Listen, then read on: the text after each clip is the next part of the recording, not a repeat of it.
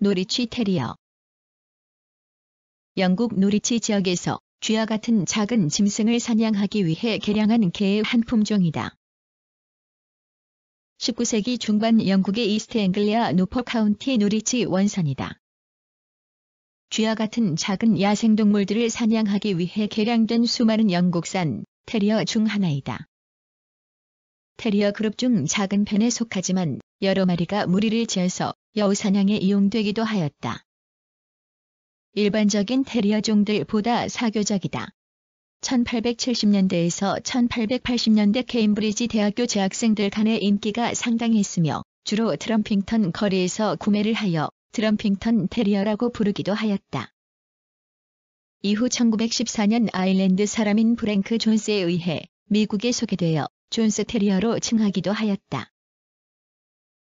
외관 키는 약 25cm, 무게는 약 5.5kg이다. 등과 다리가 짧고 목도 길지 않으며 전체적으로 근육질 체형을 가진다. 두상은 조금 넓으면서 귀 사이가 넓다. 눈은 어두운 색으로 작고 타원형이며 가장자리가 검은색이다. 귀는 중간 크기로 쫑긋 서 있다. 짧고 굵은 꼬리는 위를 향하지만 수평인 것도 있으며 짧게 자르기도 한다. 털은 단단하고 철사처럼 뻣뻣하며 곧게 뻗어 있다. 또 촘촘하게 누워서 나기 때문에 먼지가 들어가지 않아 털을 깎을 필요가 없다.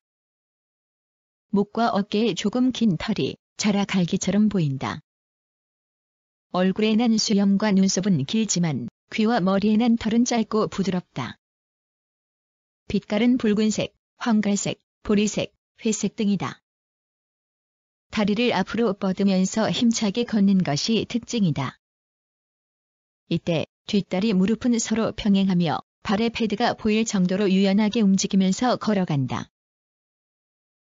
성격 및 관리 사냥개답게 명랑하고 겁이 없으며 주인에게 충성심과 강한 애정을 보인다.